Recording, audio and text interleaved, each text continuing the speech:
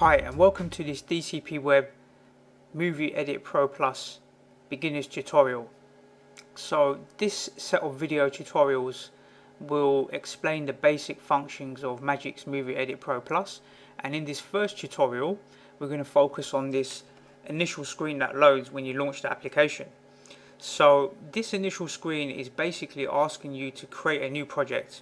That's probably what you're going to be doing first of all when you load up this software. You're going to create a new project and it's asking you what are the film settings that you want to apply to this particular project.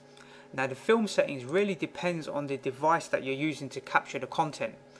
I know for sure that I'm capturing this particular video on my computer and I know that it's running at 1080p resolution.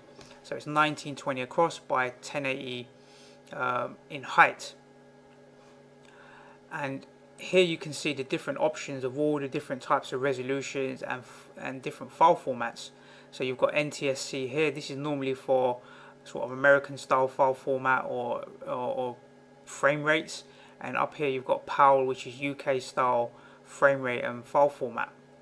So for me I will be selecting PAL HDTV 1080i 16 by 9 1920 by 1080p resolution at 25 frames a second. That's what speed I'm capturing the video content that I'm creating for my videos for YouTube. So I'll select this particular option and I always use the sample rate the audio and leave it at its high setting so you get the best sample rate audio. That should be fine. And then you just give your project a name here. As default I always leave it just with the date here and then I click OK so when you click OK, it's going to load up the default project. You're going to have a blank timeline here, and you're going to have various settings up here, and then the video that you're editing can get displayed here for cutting and so forth.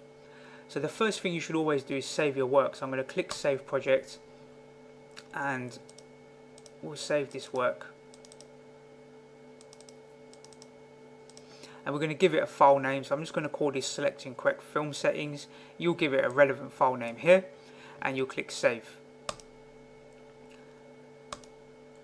So I've created the basic project and in the next tutorial we'll focus on browsing content, the actual content that we want to add to the actual video itself.